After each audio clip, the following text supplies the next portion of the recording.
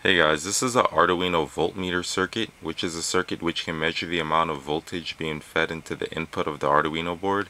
And attached to the output of the Arduino is a 5 volt analog volt panel meter.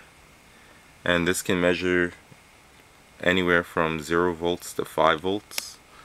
And attached to the input of the Arduino is a potentiometer this is a 10k potentiometer, but really any value potentiometer can work, can be used. And the potentiometer controls the amount of voltage that will be displayed on the volt panel meter. And this just basically works by Ohm's law. As resistance is low, um, voltage will be low, and as resistance increases, voltage will be increased. So right now the potentiometer is turned so that it's offering near zero ohms of resistance which is why the volt panel meter shows zero volts.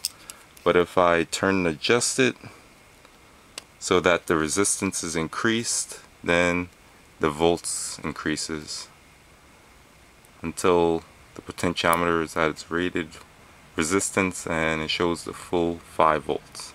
If I decrease it goes down. And if I increase it resistance it goes back up to full scale. So this is basically how a Arduino voltmeter circuit works. And to see the full circuit schematic and explanation of how it works you can click the link below. Alright thanks for watching. Bye